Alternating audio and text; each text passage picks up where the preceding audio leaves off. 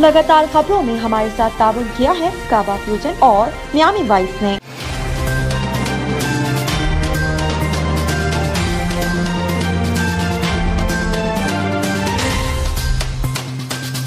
असलम नाजीन ओ TV global के साथ, मैं हूँ वजीहा अब्दुल कादिर। सबसे पहले शामिल करते हैं पाकिस्तान से कुछ आम खबरें।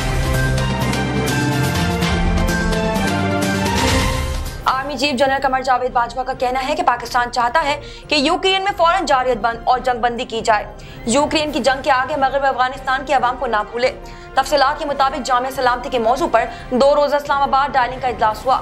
इजलास में army chief general Qamar Javed Bajwa शरीक हुए।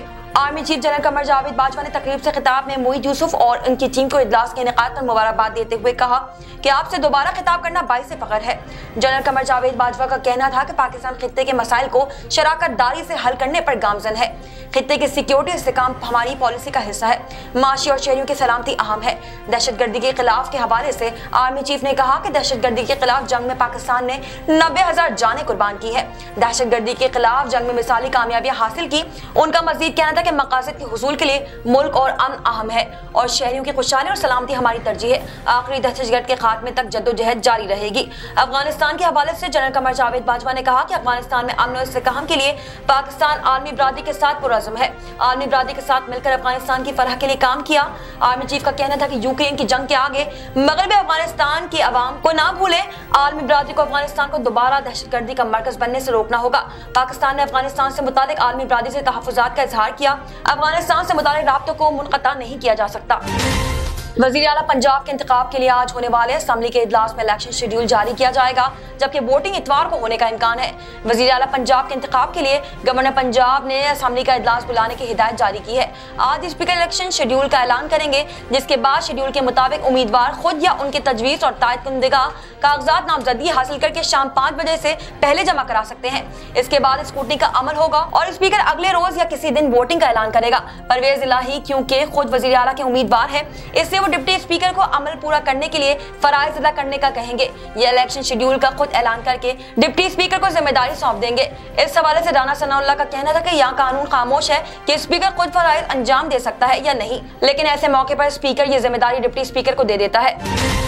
वज़ीर अजम इमरान खान ने निजी टीवी को दिए गए इंटरव्यू में कहा कि स्टैब्लिशमेंट ने तहरीक अदम एतमाद इस्तीफा इलेक्शन की ऑफ़र दी। निजी टीवी से गुफ्तु करते हुए वजी अजम का कहना था कि तरक्की पजीर मुल्कों को मीर जाफ़र और मीर सादिक के ज़रिए कंट्रोल किया गया। मुल्क फतह करने की ज़रूरत नहीं है। ऐसा आदमी बिठा दे जो आप कहें, वो करे। ऐसा शख्स बिठा दे जो जाती मफाद के लिए मुल्क का मफाद कुर्बान कर दे। उनका मजीद कहना था कि मुझे अगस्त से अंदाज़ा हो गया था कि ये गेम चल रहा है। लंदन से मंसूबाबंदी हुई है। एजेंसीज की रिपोर्ट थी, मैं कभी फौज के खिलाफ बात नहीं करूँगा। पाकिस्तान को मज़बूत फौज की ज़रूरत है। अगर मज़बूत फौज ना हो तो दुश्मन हमारे तीन टुकड़े कर सकता है। जिन मुल्कों के पास मज़बूत फौज नहीं थी, उन्हें टुकड़े किया गया। हम अपनी फौज की वजह से बचे हुए हैं। नवाज़ शरीफ से मुतालिक इमरान खान का कहना था कि नवाज़ शरीफ और इसकी बेटी ने खुलकर फौज को बुरा भला कहा। जजों को खरीदना और प्लॉट देना, ये सब इसने शुरू किया। इनकी कोशिशें हैं कि इकतदार में आए, नैप को खत्म करें, ये नवाज़ शरीफ की नाअहली खत्म करेंगे और नवाज़ शरीफ को बहाल करेंगे। उन्होंने मजीद कहा कि जनरल मुशर्रफ ने अपनी हुकूमत बचाने के लिए एनआरओ दिया। मुझे हुकूमत बचाना होती तो पहले दिन ही एनआरओ देता। मुशर्रफ ने इन डाकुओं को माफ़ करके सबसे बड़ा जुल्म किया। हुकूमत चली जाए, जान चली जाए, कभी एनआरओ नहीं दूँगा। उन्हें मुल्क कंट्रोल करने के लिए अफवाज भेजने की ज़रूरत नहीं, ऐसे लोग चाहें। तहरीक अदम एतम और आलमी साजिश से मुतालिक वजी अजम ने कहा कि इमरान खान तहरीक अदम एतम जीत जाता है तो मुश्किल का सामना करना पड़ेगा। इमरान खान हार जाता है तो पाकिस्तान को माफ़ कर देंगे। मेरे पास सब रिपोर्टें हैं, कौन किस सिफारत खाने में जाता है? मेरे पास सब रिपोर्ट है, कौन सा सियासतदान जाता था, कौन सा सहाफी एंकर जाता था? उनका मजीद कहना था कि ये मीटिंग तहरीक अदम एतम जमा होने से पहले की थी प्लानिंग पाँच छह महीने पहले से हो रही थी। एक सवाल के जवाब में इमरान खान का कहना था कि हमारे स्टैब्लिशमेंट से ऑफ़र थी कि तीन चीज़ें हैं, अदम एतम का वोट इस्तीफा दें या इलेक्शन लेकिन हमने कहा कि इलेक्शन सबसे बेहतर तरीका है। इस्तीफा मैं कभी सोच ही नहीं सकता। वज़ीर आज़म का कहना था कि जो लोग भाग गए, उनके साथ हुकूमत नहीं चला सकते। तहरीक अदम एतम जीत जाता हूँ तो मुश्किल का सामना करना पड़ेगा। जल्द इलेक्शन अच्छा आइडिया है। मुस्लिम लीग नून के सीनियर रहनुमा राना सल्लल्लाहु ने कहा कि इमरान खान खुद स्टैब्लिशमेंट के पास गए होंगे। कि इनकी मदद की जाए। ऑपोजिशन क्यादत ने कभी इस बारे में स्टैब्लिशमेंट से रब्ता नहीं किया। मुस्लिम लीग नून के रहनुमा राना सनाउल्ला ने प्रोग्राम में गुफ्तु करते हुए कहा कि इमरान खान अगर ऑपोजिशन से बात नहीं कर सकते तो घर जाएँ, क्योंकि इस सिस्टम में अगर कायद, ऐवान और हजब खिलाफ आपस में बात ना करें तो सिस्टम नहीं चलता और ना ही चलाया जा सकता है। उनका मजीद कहना था कि परवेज खट्टक और फरूक नसीम फैटफ पर ऑपोजिशन के साथ बात कर रहे हैं। स्टैब्लिशमेंट ऑपोजिशन से बात करती रही, शाह महमूद चार चार घंटे मुजाकर करते रहे। राना सनाउल्ला ने मजीद कहा कि फवाद पहले अपने भाई को तो मना लें। वज़ीर कानून के पास गिरफ़्तार करने का कोई इख्तियार नहीं। उनके घर के बाहर खड़ा चपरासी इन्हें पानी का गिलास भी नहीं पकड़ाते। उन्होंने मजीद कहा कि पंजाब में अपोजिशन को सिर्फ़ दस बारह वोट का दरकार है। हमजा बड़ी आसानी से टारगेट हासिल कर लेंगे। वफाकी वज़ीर असद उमर ने अपोजिशन लीडर शहबाज शरीफ के बयान पर सख्त रद्दमल का इजहार किया। समाजी रबते की वेबसाइट ट्विटर पर जारी बयान में असद उमर ने कहा कि मियाँ साहब, ये कौम भिकारी नहीं है। अलबत्त इस कौम की अशरफिया का एक बड़ा हिस्सा ज़रूर बेजमीन है। अशरफिया अपने जाती मफाद के लिए भीख मांगने से भी कुरेज नहीं करते। असद उमर ने कहा कि पाकिस्तान कौम एक गैरतमंद कौम है और कौम आज तारीखी लम्हे में एक गैरतमंद लीडर के साथ खड़ी हुई है। वाज है की गुजशत रोज शहबाज शरीफ ने निजी टीवी चैनल को दिए गए इंटरव्यू में कहा था कि भिकारियों की कोई पसंद नापसंद नहीं होती। हमें अपने लोगों का पेट पालना है, किसी से जंग नहीं करनी। शहबाज शरीफ का मजीद कहना था कि इमरान खान ने मुल्क की मीशत और खारजा पॉलिसी को नुकसान पहुँचाया। इनके इल्ज़ाम घटिया और बेबुनियाद हैं। रमज़ान मुबारक का चाँद देखने के लिए रोहित हिलाल कमेटी का इजलास आज पिशावर में होगा। चेयरमैन रोहित हिलाल कमेटी मौलाना सैयद अब्दुल खबीर आज़ाद की सदारत में मरकजी रोहित हिलाल कमेटी का इजलास आज चार सदा रोड पिशावर पर कायम महकमा औकात के दफ्तर में होगा। जोनल कमेटियों के इजलास, लाहौर, कराची कोयटा इस्लामाबाद में होंगे, जिसमें वजारत मजहबी उमूर महकमा स्पार्को के नुमाइंदे भी शरीक होंगे। पंजाब की जोनल कमेटी का इजलास ऐवान औकाफ लाहौर में होगा।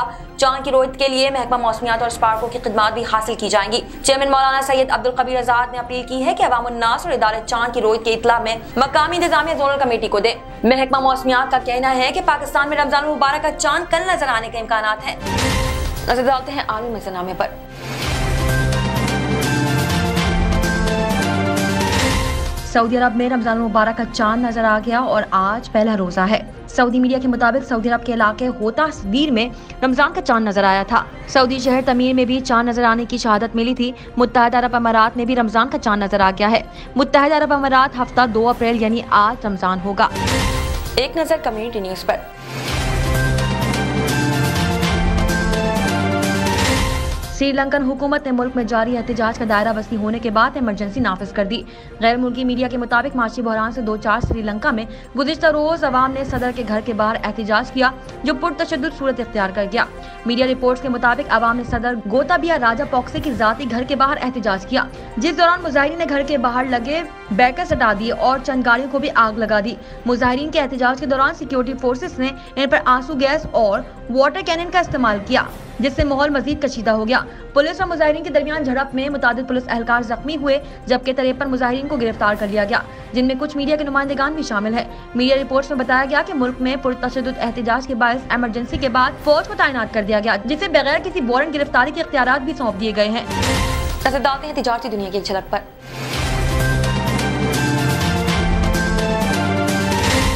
Federal board of revenue F ने टैक्स इकट्ठा करने का नौ माह का हदफ हासिल कर लिया। एफ़ के मुताबिक जुलाई से मार्च तक चार हज़ार तीन सौ बयासी का टैक्स जमा किया गया। एफ़ का बताना है कि टैक्स वसूली हदफ से दो सौ सैंतालीस अरब रुपए से ज़्यादा है। शामिल करते हैं से मुतालिक कुछ आम खबरें।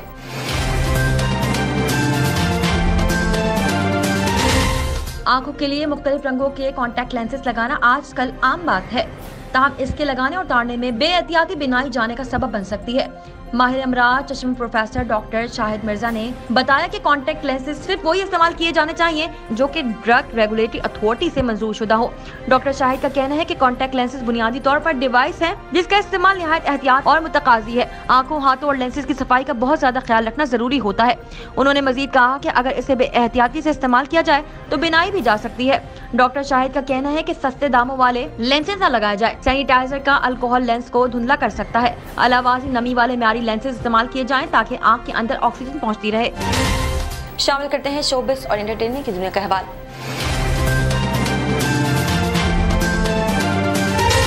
रिश्ता अजदवाज में मुंसलिक अदाकारों के दीगर अदाकाराओं के साथ अफेयर की खबरें मद्दाहों के लिए नई नहीं होती। और फिर बॉलीवुड इंडस्ट्री में तो ऐसी खबरें सामने ही आती रहती हैं, जिनमें से ज़्यादातर अफवाहें होती हैं। लेकिन क्या आप जानते हैं कि बॉलीवुड की मारूफ जोड़ी अजय देवगन और काजल में 2010 में इख्तलाफात इस वक्त हुए, जब अदाकार की film once upon time in Mumbai release हुई। फ़िल्म की अक्सबंदी के दौरान ये अफवाहें सामने आई की अजय और अदाकारा कंगना रनावत में करीबी ताल्लुक है और दोनों एक दूसरे के इंतहाई करीब हैं। इन दिनों ये खबर जंगल की आग की तरह भारतीय मीडिया पर फैल गई। भारतीय मीडिया रिपोर्ट्स के मुताबिक काजल ने अजय को धमकी दी कि अगर ये सब खत्म ना हुआ या इसमें सच्चाई हुई तो वो अपने बेटे यग और नासा को लेकर अलग हो जाएँगी। साइंस और टेक्नोलॉजी की दुनिया में क्या नया हो रहा है? आइए देखते हैं।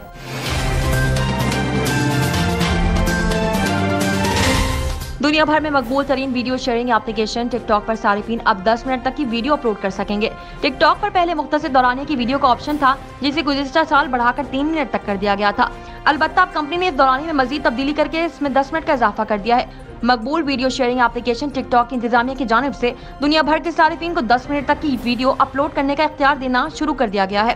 बैन अवी जराए ब्लाक के मुताबिक टिकटॉक इंतजामिया का कहना है की हम दस मिनट तवील तक की वीडियो अपलोड करने का फीचर मुतारफ कराकर बहुत खुश है।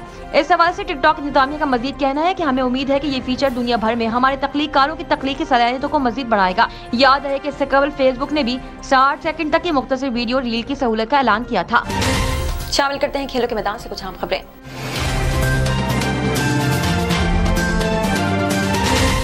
पाकिस्तान और ऑस्ट्रेलिया के दरमियान तीसरा एक रोजा मैच फाइनल बन गया। फतेह टीम सीरीज़ के हकदार बन जाएगी। तफसीत के मुताबिक पाकिस्तान और ऑस्ट्रेलिया के दरमियान तीसरा और फैसला कुन मैच आज लाहौर के कजाबी स्टेडियम में खेला जाएगा। सीरीज़ एक एक से बराबर है। फैसला कुन मैच डे नाइट होगा, जो कि दोपहर तीन बजे शुरू होगा। वाजह है कि पाकिस्तान 20 साल से ऑस्ट्रेलिया के खिलाफ कोई वनडे सीरीज़ नहीं जीता है। वाजह है कि दूसरे एक रोजा मैच में कप्तान बाबर आज़म और ओपनिंग बैटर इमाम हक की सेंचुरी की बदौलत कौमी टीम ने वनडे क्रिकेट में रिकॉर्डेड हदफ हासिल करते हुए ऑस्ट्रेलिया को छह विकेटों से बाहर कराया था। इससे कबल पाकिस्तान की जानब से हासिल किया गया। सबसे बड़ा हदफ तीन रन का था जो इसने बांग्लादेश के खिलाफ एशिया के कप के मैच में उबूर किया था। शामिल करते हैं दुनिया भर से कुछ दिलचस्प और मुफरी खबरें।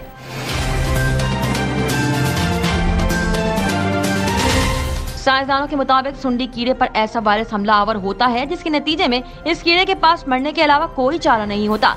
कैटरपिलर या सुंडी पौधे का दुश्मन कीड़ा माना जाता है, जिसके पनपने का एक फितरी अमल बिल्कुल तितली की तरह होता है, जिसमें कैटरपिलर प्यूपा बनता है और प्यूपा बनने के अमल से पहले ज़मीन पर गिरकर धस जाता है और फिर इसे तितली जैसा कीड़ा बरामद होता है।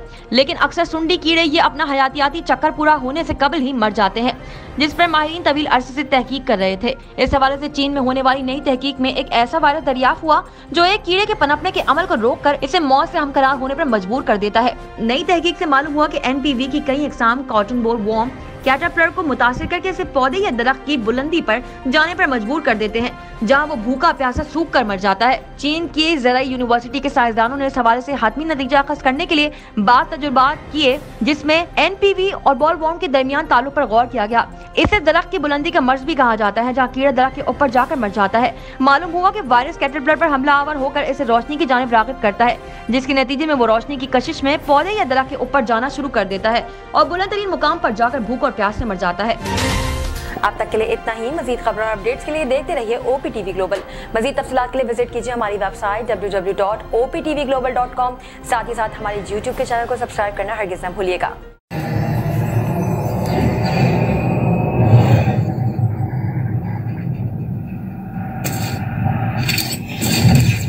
Kaba Fusion is a pharmacist owned, patient focused team of professionals with over 30 years' experience providing intravenous medication to pediatric and adult patients in the comfort and safety of their own home. Founded by Dr. Sohail Masood, a pioneer in the home infusion industry and recipient of Ernst & Young's Entrepreneur of the Year award, Kaba Fusion has 28 state of the art compounding pharmacies across the country with service capabilities nationwide. Specializing in IVIG, SCIG, and acute therapies, our highly skilled infusion nurses are present throughout your treatment and our clinicians are on call 24 hours a day. Please visit us at cabafusion.com for more information.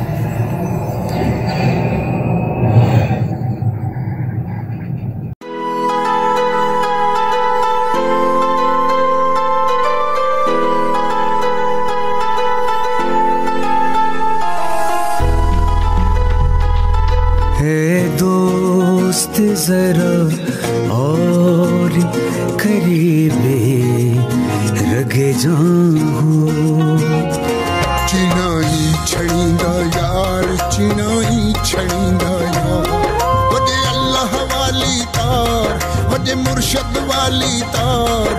मैंने इश्क न जावे कुछ समझ ना आवे। मैंने इश्क न जावे कुछ समझ ना आवे। जब सामने होवे यार ते नचना पैंदा ए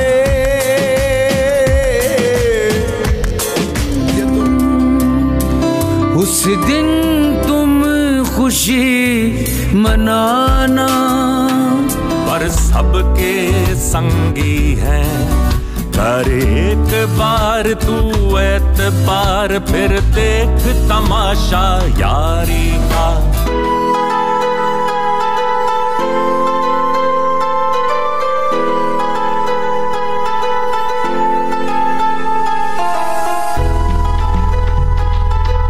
equal justice under law. We haven't yet lived up to that promise, marginalized communities across our nation.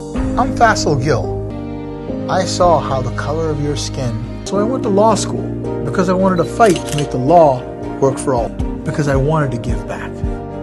Because black lives matter. Because we need to incarcerate less and educate more. Deserves justice.